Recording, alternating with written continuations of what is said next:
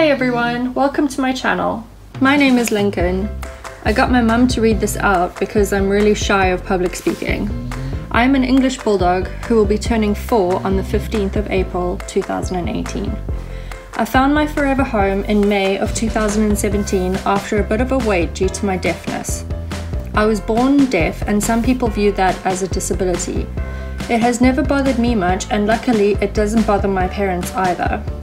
I was adopted through the Bulldog Rescue and Rehoming organisation in England.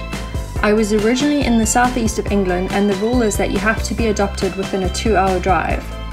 Oh, look at that little cuteness. My parents decided to adopt a bulldog because they've always loved bulldogs and rescuing is very important to them.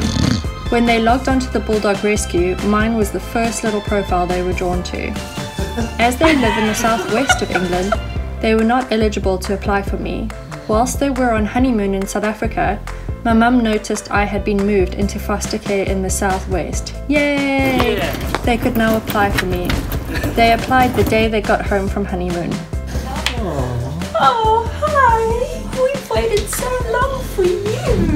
Hello, hello. Mommy and Daddy Hello. We started this YouTube channel about a month after I moved into my new home. We upload videos every day and sometimes even twice a day. My parents have been on a learning adventure with me as I am their very first dog. I don't let my deafness keep me down, and as you will see in my videos, I always live life to the fullest. My favorite things in life are sleeping, eating, and of course my parents. Oh yeah, and I am completely obsessed with balls.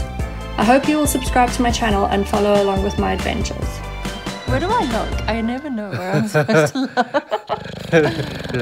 Just look at Piggy. Thanks so much for watching everyone. We hope you enjoyed this video. If you did, give us a thumbs up, leave us a comment below. If you're new around here, please hit subscribe. Thanks so much for watching. Have a great day.